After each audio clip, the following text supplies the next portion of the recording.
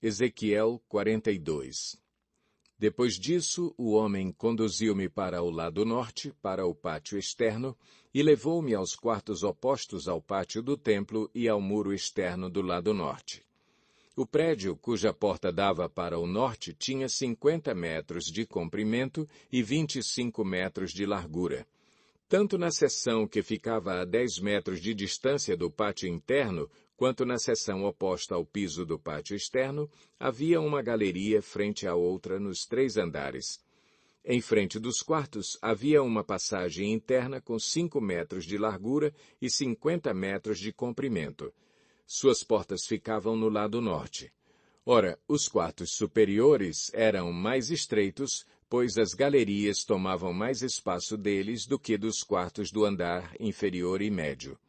Os quartos do terceiro andar não tinham colunas, ao passo que os pátios tinham. Por isso, a área deles era menor do que a dos quartos do andar inferior e do meio.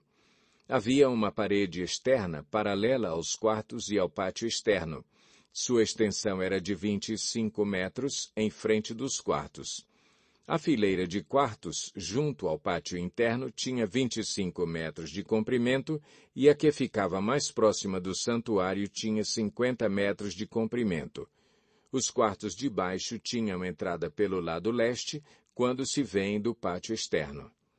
No lado sul, ao longo da parede do pátio externo, adjacentes ao pátio do templo e no lado oposto do muro externo, havia quartos com uma passagem em frente deles.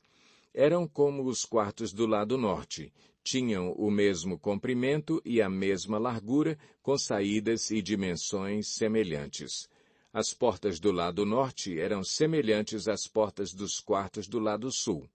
Havia uma entrada no início do corredor paralelo ao muro correspondente que se estendia para leste, e havia uma entrada para os quartos. Depois o homem me disse, os quartos do norte e do sul que dão para o pátio do templo são os quartos em que os sacerdotes que se aproximam do Senhor comerão e guardarão as ofertas santíssimas, isto é, as ofertas de cereal, as ofertas pelo pecado e as ofertas pela culpa, pois o local é santo. Assim que os sacerdotes entrarem nos recintos sagrados, só poderão ir para o pátio externo após tirarem as vestes com as quais ministram, pois elas são santas. Porão outras vestes antes de se aproximarem dos lugares reservados para o povo. Quando ele acabou de medir o que havia dentro da área do templo, levou-me para fora pela porta leste e mediu a área em redor. Mediu o lado leste com a vara de medir. Tinha 250 metros. Mediu o lado norte, tinha 250 metros, segundo a vara de medir. Mediu o lado sul, tinha 250 metros, segundo a vara de medir.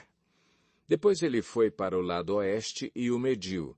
Tinha 250 metros, segundo a vara de medir.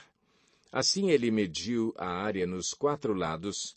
Em torno dela havia um muro de 250 metros de comprimento e 250 metros de largura para separar o santo do comum.